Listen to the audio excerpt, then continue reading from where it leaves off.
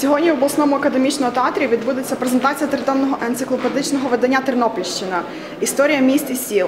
Для участі в цій знаковій події прибуло багато відомих краян та вихідців з Тернопілля. Серед них і знаний український літератор, політик та громадський діяч, лауреат державної премії імені Тараса Шевченка Роман Лубківський. Користуючись нагодою, ми запросили його до розмови. Романе Мар'яновичу, як відомо, цими днями минає 50 років з часу виходу у світ вашої першої поетичної збірки. Ми вітаємо вас з цим творчим ювілеєм і просимо коротко розповісти про свій літературний доробок. По-перше, дуже дякую за запрошення до розмови. По-друге, я переживаю велику радість, тому що ця зустріч, яка має відбутися, е, очевидно, для мене буде дуже важливою, оскільки я відчую той настрій творчий, культурний, який мені важливий, тому що я себе почуваю подолянином, тернополянином, острівчанином. А книжка, про яку ви говорите, це навіть не книжка, це мініатюрна збірочка, яка вийшла в серії пісні і праця. Це дійсно було 50 років тому. Я якраз завершував службу в тодішній армії, і книжка була невеличка, навіть не повний аркуш. Звичайно, це був мій дебют. На цей дебют відгукнулися видатні діячі культури, зокрема Богдан Кравців. Е, Оцінка його тоді не поширювалася, бо він вважався діаспорним, е, націоналістичним е, літератором. Але були дуже добрі оцінки з боку інших людей, і зрештою вони відомі. Що ж далі було? Далі була дуже складна робота, тому що друга книжка ніби підтвердила те, що я сказав перше, називалася вона Громове дерево. Я почав працювати над ключовими метафорними назвами. А потім, були певні паузи, які я заповнював перекладацькою мовою. Так що я можу сказати про себе скромно, звичайно, що як літератор я, я маю дві лінії поетичну і перекладацьку. На сьогодні у видавництві Дніпро виходить другий том моїх творів, е, де буде представлено 200 поетів слов'янського світу. Е, Крім того, займаюся літературознавчою роботою, дослідницькою, а останніми роками е, мені хочеться щось зробити для рідного краю. І от коли мене запросили на цю презентацію, я для себе знайшов таке, такий вислів Тернопільщина енциклопедична. Це край, який має свої енциклопедії, має свої енциклопедичні традиції, і я з радістю візьму участь у цих- цьому звіті. Як справжній син древньої Теребовлящини, ви не пориваєте зв'язки з своїм рідним селом Острівцем, в якому творите своєрідний духовно-мистецький центр Галичини. Розкажіть про нього детальніше.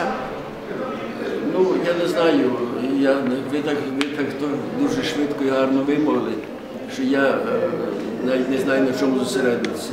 Розкажіть, будь ласка, детальніше про своє рідне село Острівець і як ви поєднуєте його своєю маєте творчістю. таку, скажімо, культурологічну роботу, так? Так. Безумовно, я мрію про те, щоб зберегти ті цінності історичні, культурні, які вже є. І разом з тим я вважаю, що, наприклад, Волинські Атени, Кременець повинні мати літературний музей. Я вважаю, що треба зберегти і розбудовувати музей книги, і музей Богдана Лепко, і музей Шашкевича в Бережанах.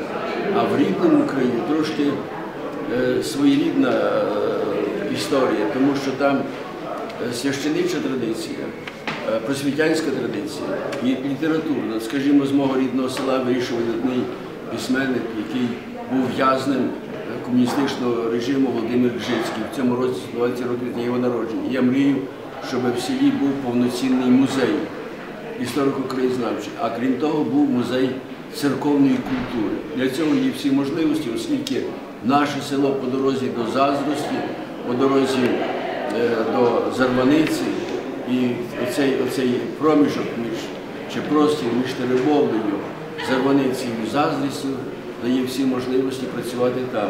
Буду це робити в міру своїх можливостей.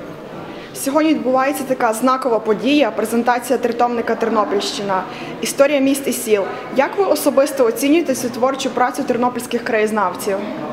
Безумовно, дуже високо. Я знаю, що вийшов так званий ТЕС, Тернопільський енциклопедичний словник, а потім буквально на вході до, до, цього, до цього театру, який теж для мене дуже добре е, ну, багато значить в моїй долі.